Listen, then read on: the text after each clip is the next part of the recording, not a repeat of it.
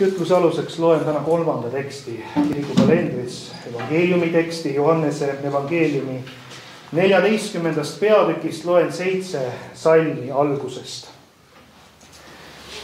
Jeesus ütleb, teie süda ärgu ehmugu. uskuge Jumalasse ja uskuge minusse. minu isa majas on palju eluasemeid kui see nõnda ei oleks, kas ma siis oleksin teile öelnud, et ma lähen teile aset valmistama? ja kui ma olen läinud ja teile aseme valmistanud, tulen ma jälle tagasi ja võtan teid kaasa enese juurde, et teiegi oleksite seal, kus olen mina. ja kuhu ma lähen, sinna te teate teed. Toomas ütles talle, issand, me ei tea, kuhu sa lähed. kuidas me võime teada teed? Jeesus ütles talle, mina olen tee ja tõde ja elu. ükski ei saa minna isa juurde muidu kui minu kaudu. kui te oleksite tundnud mind, siis te tunneksite ka mu isa. nüüd te tunnete teda ja olete teda näinud. aamen, istuge palun.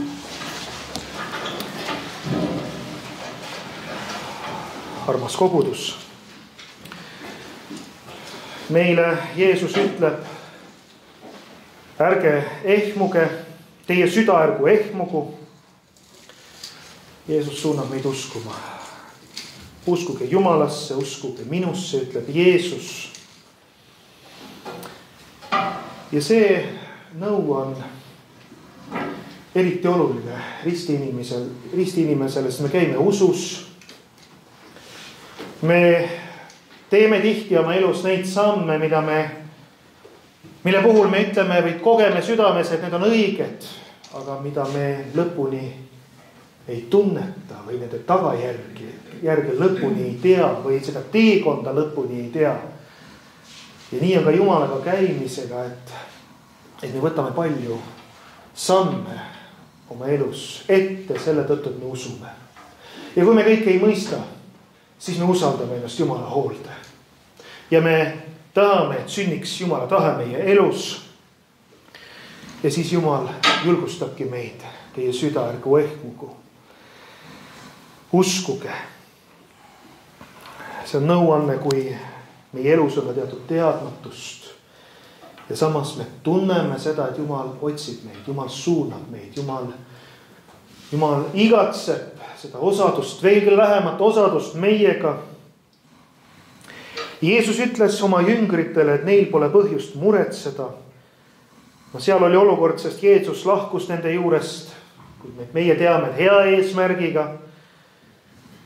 ja muretsemise ehmumise asemel võisid nad julgesti usaldada nii, nii Jeesust kui ka taevast isa, aga see on üks issand, üks kolmaimus Jumal isa, poeg ja püha vaim.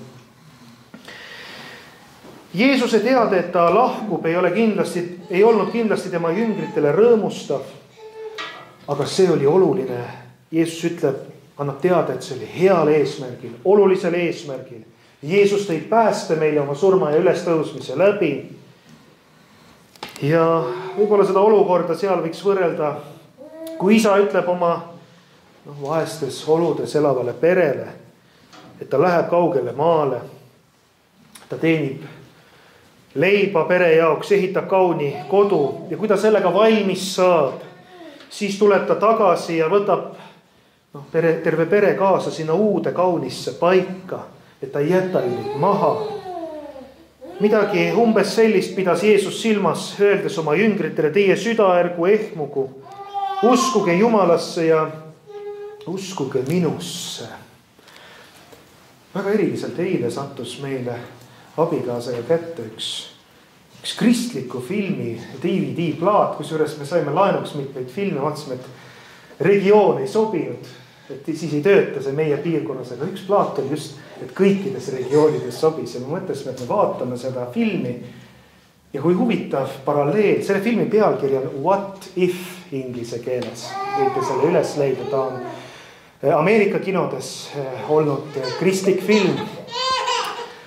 aga see film rääkis sellest, kuidas kuidas üks mees jätab hüvasti, noh, noore tudengina siis oma tüdruksõbraga, ütleb, et ta läheb ka linna noh tööle, tal on vaja kaheksa kuud seal eemal olla. töötab ennast üles ja, ja, ja siis tuleb tagasi, siis ta annab lubaduse tüdruksõbrale, et ma tulen tagasi, ma ei muutu. tüdruksõber küsib, kas sa ikka muutud, järsku sa muutud seal teistsuguseks, järsku sul eesmärgid muutuvad. ei, ta ütleb, et ei muutu. ja siis filmis juhtub see, et nagu teinekord viisteist aastat hiljem ja viisteist aastat hiljem oli see mees sealsamas linnas, oli, oli ühes firmas investor ja, ja väga edukas ja just sai olulise tehinguga ühele poole.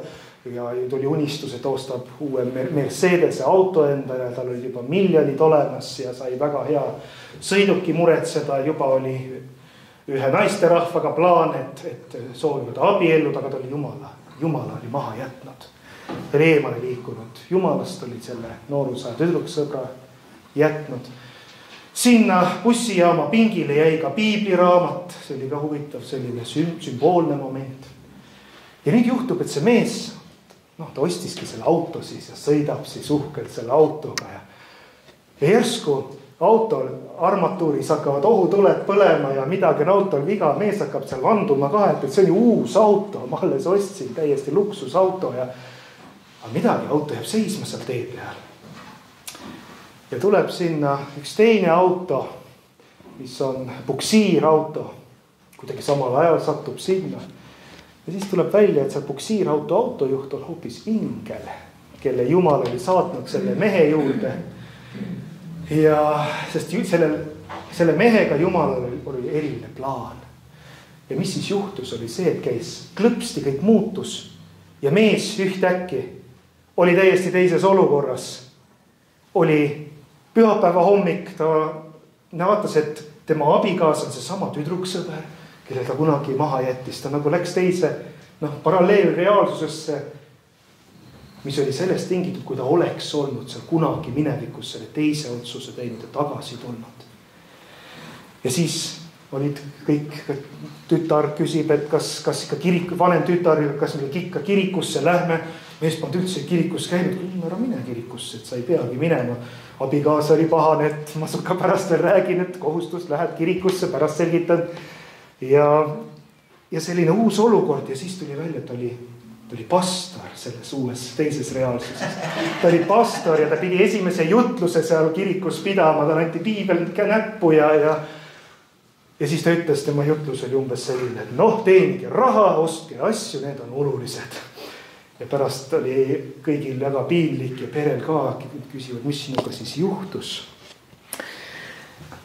ja siis see teekond läheb edasi ja, ja selle filmi mõte on igal juhul selles, what if ja mis siis, kui me lähemegi päriselt issandaga koos edasi. ja tegelikult Jumal noh, selle teekonna asemel, mida meie arvame, mis meie arvates on see kõige vägevam ja toredam teekond annab hoopis teisi õnnistusi. ma ei hakka seda filmi teile lõpuni rääkima, ma soovitan teile endil vaadata. What if on selle pealkiri, otsige kasvõi internetis kusagilt üles ja, ja vaadake seda filmi. Eh, sest selles filmis räägitakse, mis on tõelised õnnistused, mis on see tõeline elu, kuidas see mees ka mõistab lõpuks noh, mis on need tõelised väärtused ja kui suur oluline asi, et tal see perekond oli, need tütrekesed ja, ja, ja ja kui paljust ta ilma jäi selle tõttu, et ta kunagi seal minevikus läks eemale sellelt teekonnalt, mis tal oli, kusjuures Jumal oli teda tookord juba kutsunud äh, läbi usuteaduse õpingute või, või juba kutsunud sellele teekonnale, et, et ta oli olnud juba hea jutustaja. nii et Jumal kutsub meid ja ta tahab meile kõige paremat, aga ta ootab meilt ka, et me otsime, mis on tema tahe meie elus, mis on meie ülesanne tema elus. mis on meie tahe ja mis on tema tahe, et me nendel asjadel vahet teeksime. ja, ja samal ajal ta julgustab meid, et teie süda ärgu ehmugu. olge julgelt võtma neid samme ette. kui jumal kutsub täna, head leerilapsed, olete teie siin koguduse keskel sest te olete kutsutud ja te olete julgelt oma jah-sõna öelnud siin koguduse keskel ja, ja jumal jätkub, jätkuvalt suunab nii teid kui ka meid kõiki. ja sellepärast see ongi üks eriline teekond, et me võime, et meile on antud see privileeg olla sellel teel ja Jumal on avanud ususilmad. ja et me vaatame juba kaugemale elu ja surma piirist, kõikidest selle maailma hädadest, sõjast, kaduvusest. noh, kõigest, mis inimeste vahel, tülidest, mis võib olla et kui me issandaga koos käime, siis ka need asjad saavad olla vaadatud uues valguses. ja me võime leida ka lahendusi uues valguses nendele olukordadele. ja meie siin maa peal ei ole lihtsalt ootamas, millal Jeesus kuidagi taevas oma asjadega valmis saab. vastupidi, me oleme kõik ühel või teisel moel Jumala kaastöölised. noh, ja kõigepealt muidugi isikliku saatuse osas pärast seda, kui Jeesus on meid päästnud, vabaks ostnud, on nii-öelda nüüd pall meie käes. see, milline koht meid kord taevas ootab ja, ja kas üldse ootab, kas elav side ikka jääb püsima, sõltub sellest, kuidas me siin maa peal olles teeme Jeesusega koostööd. kas meil on see elav osadus issandaga. Tema palub ka meie eest. ta kutsub meid enese poole pakub meile osalust oma riigis. pidage meeles, et taevariik on teie seas. see on juba meie südames. jumala valitsemine juba võib olla meie südames. aga me peame kuulma tema kutset ja pakkumisele vastama. sellepärast tänane päev ongi nii rõõmus, et meie keskel täna on uued inimesed, kes on selle pakkumisele, sellele pakkumisele vastanud. ja ja see on suur rõõm, siin on igavesed väärtused.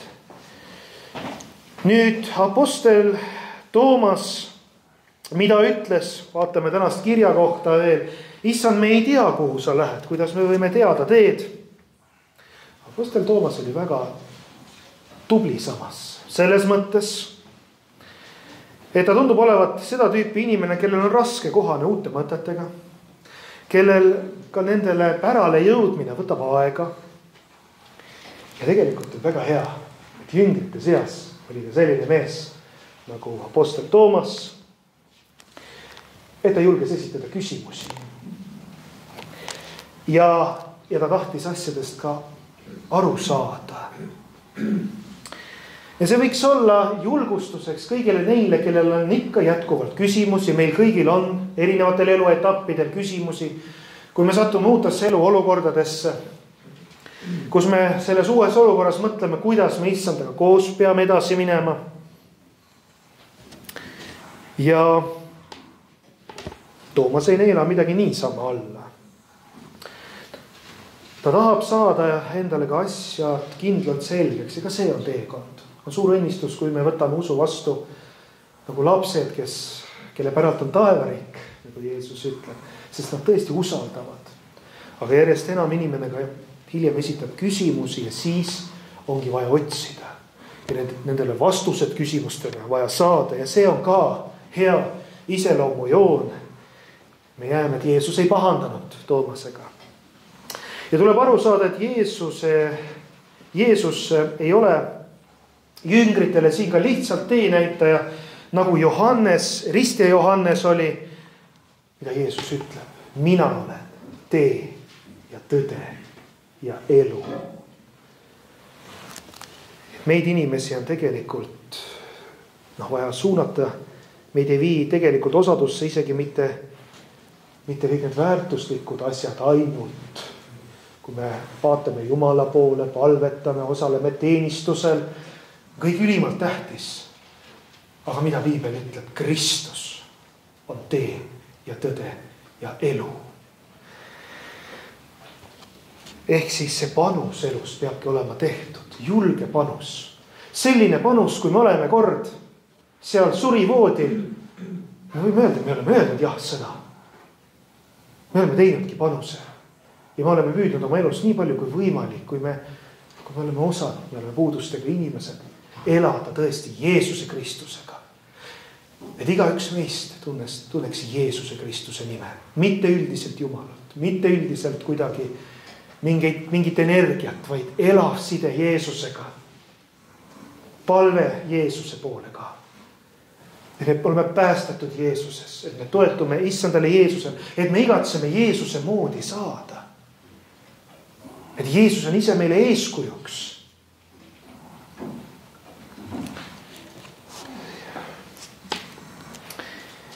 Jeesus on tõeline autoriteet inimesele. ja sellepärast, et tema on ainus inimene maailmas, kes on tulnud ise, no kas Jumala juurest või issandana. kes on meid patust, surmast ja kuradist vabaks ostnud ja tema tõeliselt ka teab, kuidas Jumala juures asjad on. me usaldame issandat, sest tema on tõesti kõike teadev. ta on suurem kui kogu see maailm ja me otsime osadust Jeesusega. kõik ülejäänud religioossed juhid maailmas, autoriteedid on ju tavalised inimesed, kes pole kusjuures kunagi väitnudki, et nad on Jumala juurest. pange tähele, Jeesusele teeb eriliseks siin see, ütleb, mina olen isa juurest. see ei ole kuidagi arvamus, vaid siin on Jumala ilmutus. et Kristus on ainult see üks tee Jumala juurde. et peale selle, kuigi on olemas ka palju teisi juhatajaid, Jeesus on ise tee, tema isik, tema tee ja tõde ja elu. no Aare Kimmel on toonud hea näite. sa oled kusagil kodunt eemale. ja kujuta ette, nüüd sa soovid jõuda koju ja nüüd kujuta ette, et sul on hea sõber, kellel on auto, kes ütleb. tule auto peale, ma viin su koju, ma saan sind sõidutada koju. no sa usaldad oma head sõpra. muidugi sa oled kindel sõp-, sõpra, sõbraga võib edasi siit minna. aga sa mitte ainult ei usalda, vaid mida sa teed, sa ka istud sellesse autosse ja sõidad ja sõber tõesti viib sind koju nii on ka, see on koju jõudmise eelduseks, see eelduseks ei ole ju ainult see, et sa usaldad oma sõpra. vaid eelduseks on see, et sa istud autosse ja alustad seda sõitu koos oma sõbraga. nii on ka see, et me usume Jeesusesse, usaldame teda, jah. aga me ka istume selle usuauto peale ja läheme koos Jeesusega päriselt edasi no miks oleks Jeesusel, Jumala pojana üldse olnud tarvis tulla siia maailma meid päästma, kui Jumala juurde oleks ka teisi teid, kui, kui, kui, kui Jeesus ise ei oleks see tee. aga muidugi see ei ole lihtne teekond Jeesuse järg, järgijatele. ja küllap te kõik teate seda, kes te olete seda teekonda käinud. mida tähendab usuvõitlused mida tähendab, et kui sa püüad natukenegi vaatad, kõrvutad oma elu kümne käsuga, et sa kukud raskelt ja, ja, ja need püsti tõusmised võivad ka rasked olla. aga Jeesus ütles, et sellel teel käimisel tuleb iga päev võtta ka oma rist, salata ennast ja järgida Jeesust. ehk võib-olla tõesti on vaja siin teinekord julgust, sest me me elame maailmas, kus on pimedus ja väga raske on olla ükseel lamp keset pimedust, kõik vaatavad siis sinu poole, kõik hindavad siis sind, muidugi põgenevad ka selle valguse juurest. ja tihtipeale, kui see, kui me tuleme issanda juurde, siis see mineviku elu, mis meil on, seal on väga palju sellist, mis, kus on, mis on jumalast kaugel. ja siis meil on ka väga raske teiste inimeste keskel olla, sest kui me tunnistame Kristust, siis kuidas teised suhtuvad sellesse. kuidas nad vaatavad meie peale. kas nad jätkuvalt tahavad meiega koos olla, kõik sellised asjad. see on vaimulik võitlus. ja ometi Jeesus suunab, et me võtaksime risti ja järgneksime Jeesusele, ei kardaks ja selles mõttes on väga huvitav, kuigi meilt ei nõuta, meie oma tugevusega kuidagi päästaksime ennast, jumal on teinud oma töö. aga selles mõttes on ristiusk üks tõeline selline väljakutsuv usk. ta, ta on selline suund, selle põhjal ei ole kristlus kaugeltki vaid nende jaoks, kes on kuidagi nõrgad, otsustusvõimetud, ei saa hakkama, vaid vastupidi. pigem ristiusk on ka neile, ta on kõigile, aga neile, kes julgevadki neid otsuseid vastu võtta, julgevadki vastu suunda, vastuvoolu ujuda siin maailmas. tahavadki patust ära öelda, tahavadki Jumalat tundma õppida, tahavad Jumala tahet otsida oma elus see nõuab tõelist julgust ja selles mõttes see, kuidas Jeesus käis maailmas. Jeesus, kui me vaatame Jeesuse peale, oli tõeline mees. ta oli tugev, tugev mees. kui meil kujutatakse Jeesust ristil kuidagi rippuvana, aga Jeesuses on tugevus. sest ta andis ennast inimeste kätte surma, risti lüüa. ta tegi seda, sest temas oli tõeline tugevus. Ja ja tugevus on tõesti tõeliseks ka meheks olemise tunnus. mitte ainult füüsiline tugevus, vaid ka see vaimulik tugevus, emotsionaalne tugevus, julgus võtta vastu otsuseid. ja nii Jeesus suunab ka neid inimesi, kelle puhul ongi oluline teinekord võtta see julge otsus vastu. ja Jeesus ei ütle siis meile kuidagi, et noh, et ta on elus. et ta ainult ei jutusta, kuidas oma elu elada, vaid veel kord, ta on ise elu, ta tahab olla lähedases osaduses meie kõikidega. ta on igasuguse elu algallikas ja algupära. ta on elu noh, piltlikult öeldud, ütleme eostaimede imepisikestes eostes ja samuti on ta suurte maismaaloomade elu, kogu universumi elu, kõige vägeva algus on Jumal ise. ja niisiis, et see elu, täna mõtleme, oleks meil ka vaimulikus sfääris. mitte see, et me elus oleme ainult, mitte see, et me veel füüsiliselt jõuame. mitte see, et noh, psühholoogiliselt oleme vaimse tervise poolest on meil hästi, vaid ka vaimulik tervis, vaimuliku elusfäär et ka siin meil oleks elu, sest inimene on ihu, hing ja vaim, neis on Jumala näolisus igavene olemas. et meil oleks ka see vaimulik lähedane elu Jumalaga.